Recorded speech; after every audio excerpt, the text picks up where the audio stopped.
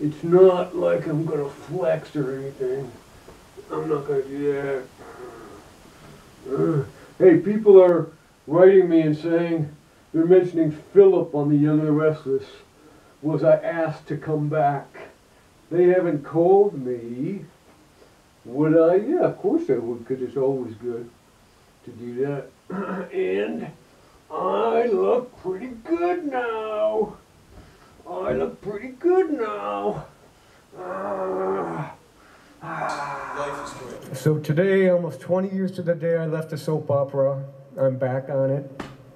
Where once I was encouraged to keep being gay a secret, I am proud to share with you that I am gay, the first openly gay actor hired by a daytime soap for a principal role.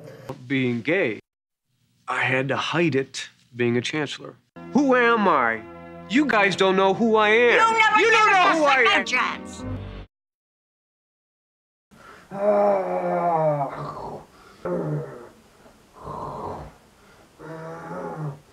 And this is how I walk in. I go.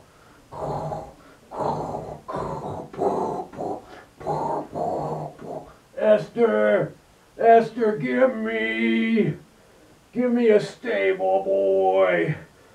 Esther, give me a stable boy. And I don't mean stable.